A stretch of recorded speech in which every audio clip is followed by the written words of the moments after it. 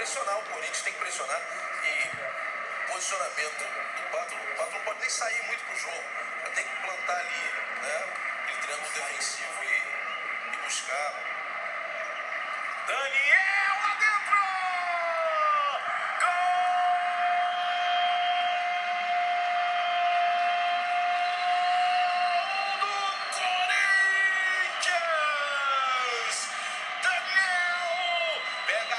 na bola, fuzila gol do Johnny, empata o jogo no Parque São Jorge.